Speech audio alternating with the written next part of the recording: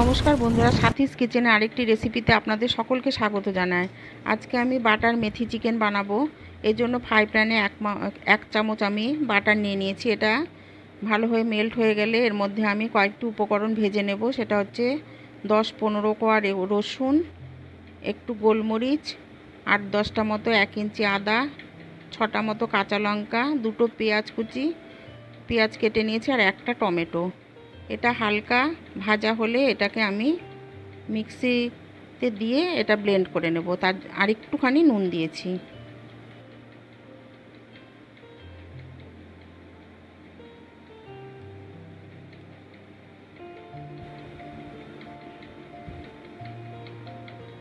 এখানে এক KG chicken নিয়েছি। এর মধ্যে এক চামচ গোলমরিচ গুঁড়ো এবং সামান্য একটু নুন দিয়ে এটা ম্যারিনেট করে আমি রাখব আধ ঘণ্টা মতো।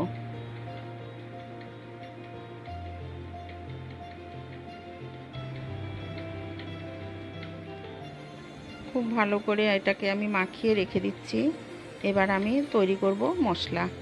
এখানে একশো গ্রাম মতো টক দই ফেটিয়ে নিয়েছি আর যে মশলাগুলো আমি ফ্রাই প্যানে বাটার দিয়ে ভেজে নিয়েছিলাম সেটা ব্লেন্ড করে নিয়ে এর মধ্যে মিশিয়ে দিচ্ছি।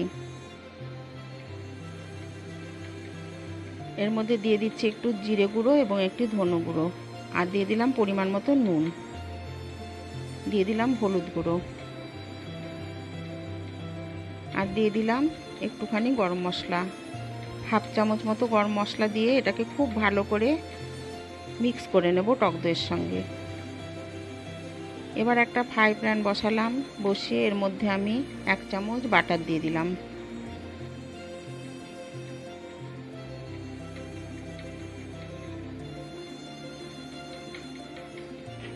আর দিয়ে দিলাম এক চামচ ঘি।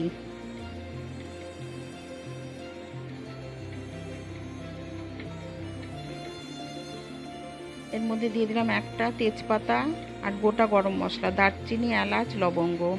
আর দিয়ে দিলাম সামান্য একটু জিরে ফোড়ন। খুব ভালো করে এটাকে দশ সেকেন্ড মতো ভেজে নেব।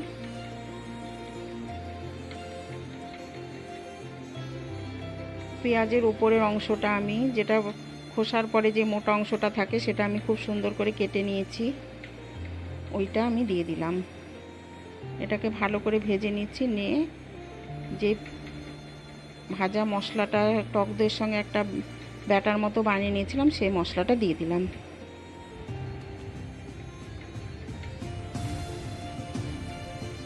খুব সুন্দর করে মশলাটাকে আমি ভেজে নেব। খুব একটা বেশি ভাজতে হবে না, কারণ আমি দেখিয়ে দিয়েছি আগেই যে প্রত্যেকটা মশলা আমি হালকা ফ্রাই করে নিয়েছিলাম। এটা ভালো ভাজা হয়ে গেছে।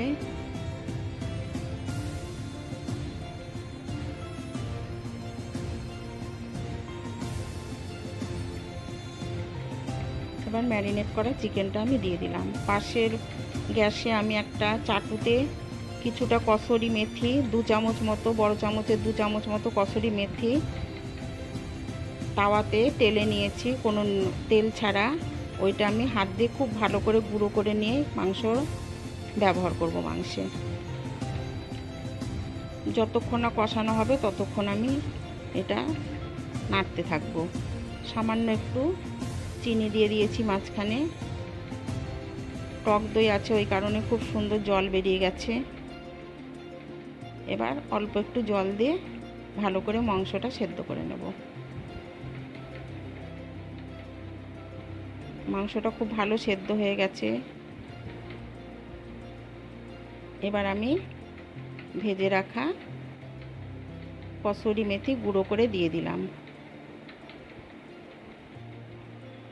তৈরি হয়ে গেল বাটার মেথি চিকেন। আপনারা প্রত্যেকেই রান্না করুন, খান এবং আমাকে অবশ্যই কমেন্টে জানান।